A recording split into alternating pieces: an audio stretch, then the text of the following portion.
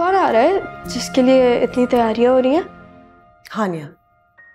हा, हानिया? हम्म। हानिया यहाँ कैसे आ सकती है? क्यों नहीं आ सकती? मॉम आप लोगों को क्या कहेंगी? कौन है ये? जिसको जो बताना होगा मैं बता दूँगी। तुम्हें फ़िक्र करने की ज़रूरत नहीं। फरहान तुम्हें पता नहीं है कि मुझे इस बात पे कितना शदीद गुस्सा आ रहा है। अब वो यहाँ पे भी आकर मेरे सर पे सवार रहेगी।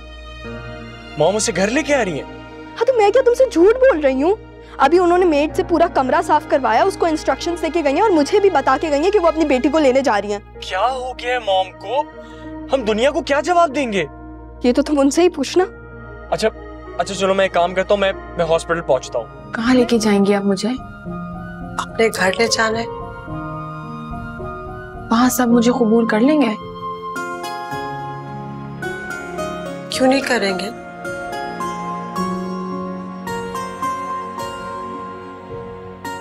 वो कमरा याद है जो मैंने तुम्हें दिखाया था? तुम्हारे लिए सेट किया था। हमारा मुंतजर है। आपने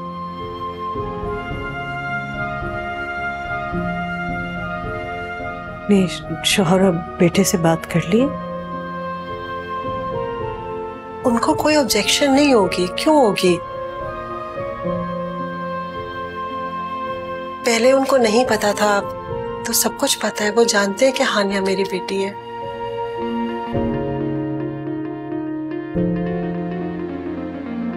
लेकिन हानिया को तो अभी मैं घर ले जा रही हूँ। इसके बारे में हम बाद में बात करेंगे।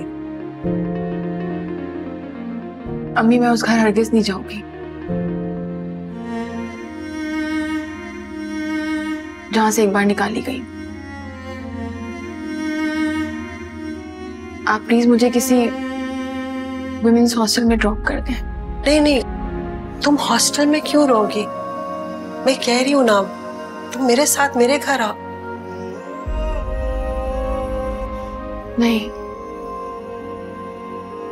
बेआसरा औरतों के लिए विमेंस हॉस्टल से बेहतर कौन सी जगह है? बेआसरा नहीं हो तुम। बेटी हो मेरी।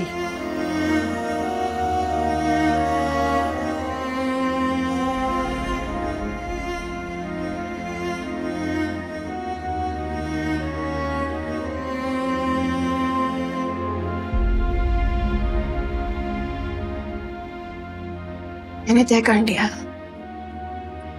आपके साथ जाऊँगी।